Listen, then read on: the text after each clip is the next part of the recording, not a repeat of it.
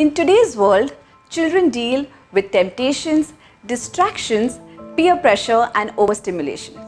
Schools are challenged to do more with less and be creative in the way they reach out to even the most isolated child.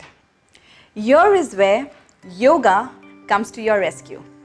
Today, yoga is a revolution all around the world, and the sole reason being it not only looks into one's physical well being but also takes care of your emotional health and spiritual connect. By practicing yoga poses, children learn to exercise, develop confidence, and concentrate better.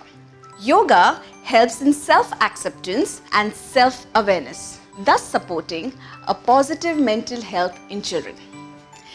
It teaches kids to relax, relieves anxiety, sleep better, and helps in emotional regulations.